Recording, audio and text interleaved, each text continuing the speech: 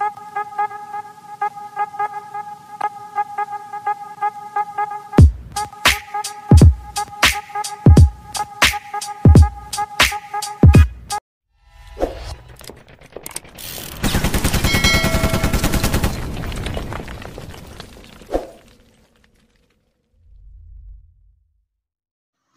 So what's up guys, welcome back to my YouTube channel. This is Jason TV at yun nga po no, so kung bago ka lamang dito sa aking channel ay huwag mong kalimutan na mag-subscribe at hit yung ating notification bell para po updated ka sa lahat ng ating mga video. No? So for today's video guys, may website tayong pag-uusapan and titignan natin syempre kung pwede tayong kumita sa website nito. So pumunta na po tayo sa website. So yan guys, ito ay si uh, trx.pub or .pub no. So yan, kung gusto mong i-try yung kanilang site is uh, click mo lang yung ating link dyan sa description and mag-register ka through your mobile number, login password, security. So same mo na lang no. Invite code automatic and then lagay mo lang tong uh, code na ito dito sa attach no. And then sign up. After mo mag-sign up, pwede na po tayong mag-login. So login lamang po ako. So as you can see guys, nandito na po tayo sa atin pong uh, main dashboard. And dito nga guys makikita mo meron ka kagad makikitang balance or total balance na 2,000 TRX or nagkakahalaga nga po yan ng 113 uh, dollars no? So kulang-kulang uh, 5,500 pesos siya no? Mga ganun or uh, kulang-kulang 6,000 pesos in Philippine peso. So ang tanong guys, pwede nga ba nating ma-withdraw agad yung balance na yan? So ang sagot po is hindi guys, no? Dahil ito ay isang uh, TRX mining website na kailangan mo nga pong mag uh, recharge ng at least 1 TRX. So tignan natin dito sa mine. O yan, makikita nyo dito, no?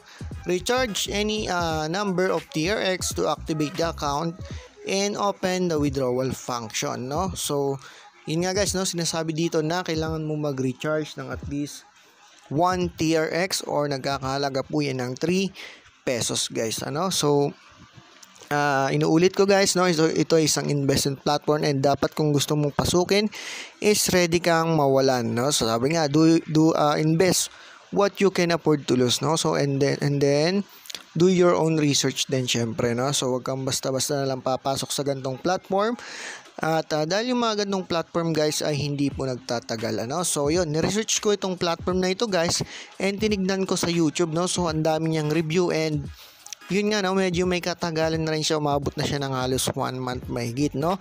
Kaya medyo as of now, hindi na talaga magandang mag-invest, lalo na ng malaking pera sa gantong platform, no? So, mas maganda kung gusto mo is 3 pesos, pwede na yon no? So, at least 3 pesos lang. And everyday doon, guys, pwede ka nang maka-withdraw uh, 2.5% everyday po no so nasa sa inyo na yan guys hindi ko po kayo pipilitin no so ako ay magta-try lang din itong platform na ito and tingnan natin kung paano nga ba maka-earn dito no so click natin tong trading. So sa trading 6% daily pwede mong ma-earn. And dito mag-claim ka lang dito daily ano. So click mo lang. And syempre hindi mo pa rin ma-withdraw yan dahil kailangan nga mag-deposit para makapag-withdraw guys no. So click natin tong invest. Ayan, so dito na tayo sa share. So kung gusto mo naman mag-share guys, um, ito yung inyong link no. Copy mo lang and then share mo sa iyong mga kakilala. So kung titingnan natin yung kanilang team, so tingnan natin dito sa me, Eto, sa may baba, no? So, sa team, yan. Dito, guys, sa uh, 15% or 10%, 5 and 2% yung pwede mong ma-earn sa uh, mga friends mo na may invite mo. So, kapag nag-invite yung na-invite mo is may kikitain ka rin po doon, no? So, yan. Eh, next, ano pa nga ba yung mga dapat natin gawin para makapag-withdraw? Uh, yun nga, sabi ko nga sa inyo, no? 2.5% lang ng iyong ininvest. So, like, for example, uh, mamaya mag-invest ako ng 200 TRX. So 2.5% lang nun daily yung aking pwedeng ma-withdraw. Ano guys? So meron kang 2,000 na balance dito. Ang tanong, parang hindi nga halos magagalaw yung 2,000 balance na yan, no? Yan ay pang-akit lang talaga nila guys. Kaya uh, bago kayo pumasok is do your own research muna, no?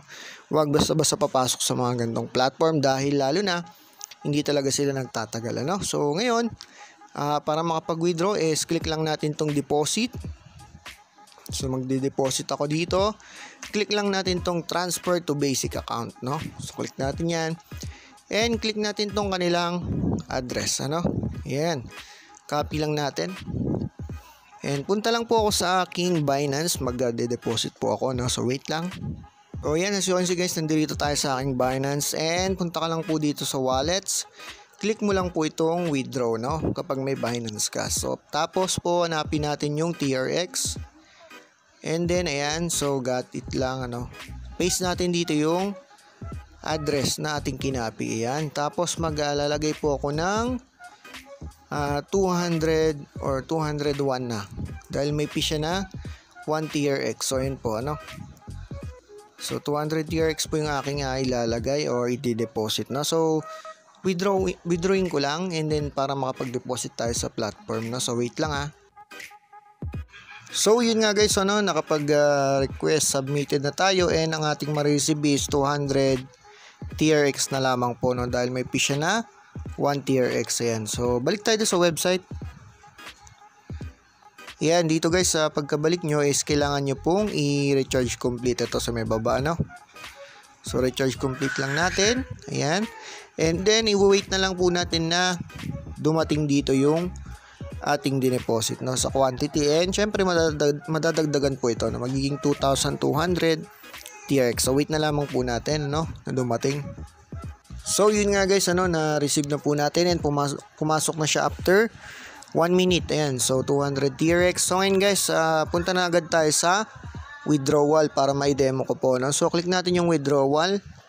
And ayan, as you can see guys, meron tayong um, daily minimum limit na 5 TRX everyday pwede tayong maka-withdraw ng 5 TRX, no? So, dito guys, merong dalawang uh, account, no? Basic and promo. So, click mo yung promo, yan po yung sa invite, no? So, dito guys, pag meron kang invite, lahat po yan is pwede mo pong ma-withdraw, no? So, punta tayo sa basic lang, syempre. Ayan. So, lagay lang natin dito yung 5. Ayan, 5. Tapos, yung ating TRX TRC20 wallet address. So, ilalagay ko lamang po. Ayan, paste ko lang and then lagay na po natin yung aking security password doon po sa inyong pag-create. Ano? So, ilagay ko lamang po. So, yan guys, then click natin yung confirm. Ayan, successful and then wait na lang po natin na ma-receive yan. After 5 minutes maximum, ano? So, wait lang natin. So yun nga guys, after 1 uh, minute na-receive na rin po natin yung ating winidraw. No? So tignan po natin. Ayun guys, no?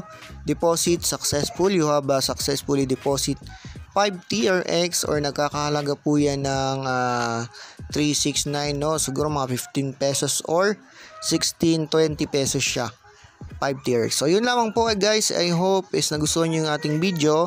And syempre invest what you can afford to lose. Yun lang po and maraming maraming salamat po